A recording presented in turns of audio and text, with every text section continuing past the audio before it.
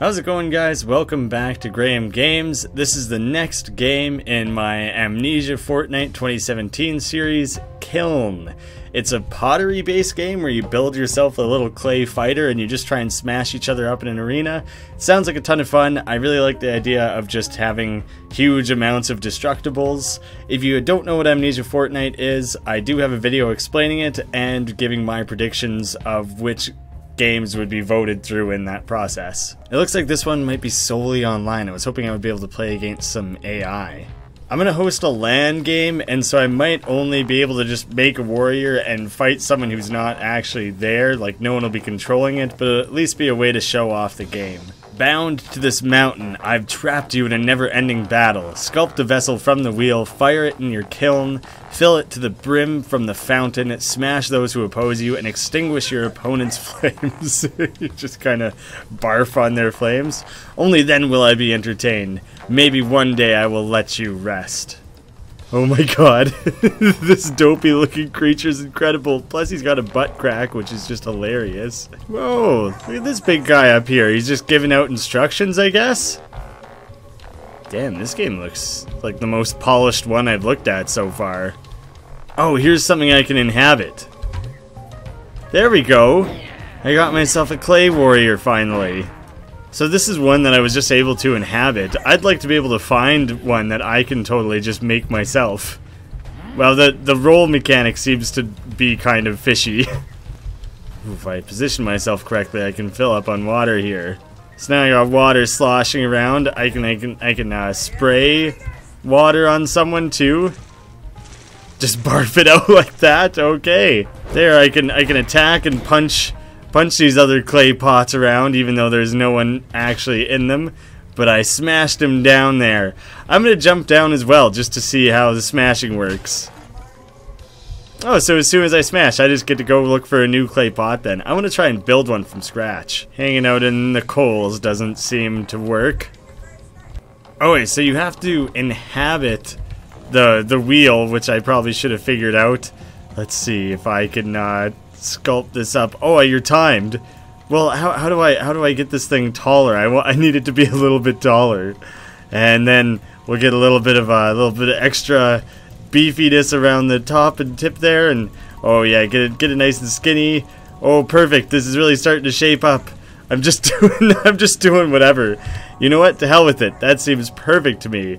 This will be uh, a great head placement, and then the arms can just go on top here. Oh, it's gonna be a masterpiece. Oh, how beautiful is that? well, I didn't think it would look quite so fucking awful, but that is the worst piece of shit I've ever seen. According to this, it can still hold water. I gotta, I gotta see. I can get 27 whole units of water in this bad boy. Perfect. Just a perfect battle vessel. Let's just chuck that waste of space off into the into the abyss over there. There we go. Oh, now I'll get one so tall. So tall and so top heavy. Perfect. Perfect. Just just get a little bit of narrow it off a little bit there. Oh, okay. I'm getting I'm getting a little bit more of a hang of it now. Maybe not really because I just made it disgusting again all of a sudden. No, no, I didn't want it to have a little... Ah, dang it. I screwed that up after all. Alright, well, his arms are going to go way up top here.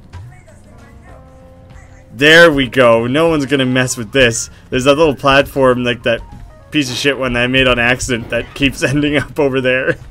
Well, this is just perfect. What gorgeous curves there are on this piece of pottery. That's not quite what I was going for, though. Oh, you gotta be you gotta be kind of delicate with this. What if I throw his arms down at the bottom for a change? It doesn't make a whole lot of a difference, I suppose. Let's kick around that last one I made just to see how the destruction works. Oh, okay, the smashing of things is great. Something's gone horribly wrong with this one. Uh, panic, try and salvage it. Make something out of it. Now I can just tell that this abomination just wants to be killed. I'm gonna go re-inhabit this one just so I can kill this guy. Uh, now I got this big, bulky, fat ass with a weird little bit sticking out of his head because I kind of messed it up still a little bit. But this guy could probably pack a serious punch. Can't hold a ton of water. But I wouldn't want to mess with that brute. This is honestly so hard though. You gotta be so slow and steady to try and get it. You screw anything up, and all of a sudden you end up with those weird busted up looking bits that I don't know how to fix. There needs to be a way to just completely restart once you make a mistake like that. I accidentally just made the Stanley Cup. There, now it's actually like perfect, to the best of my recollection. Here, I thought it would be funny to just try and make one skinny the entire way.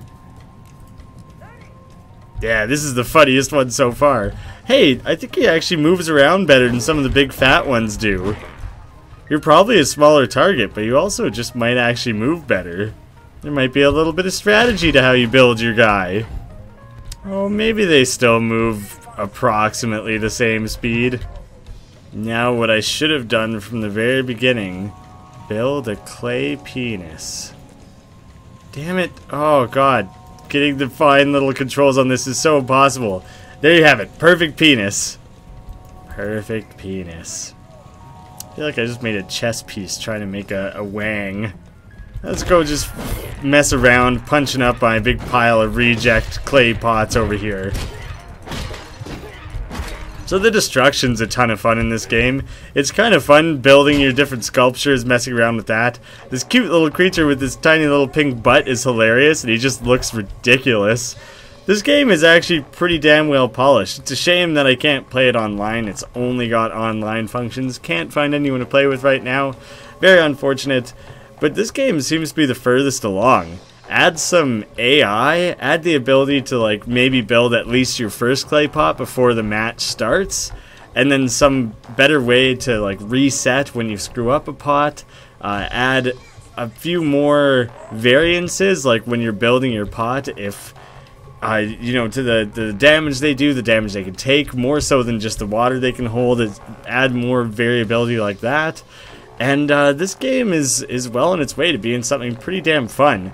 Not something I would spend a ton of money on, five or ten dollar range if it was put together well, but there's something here. It's a fun concept.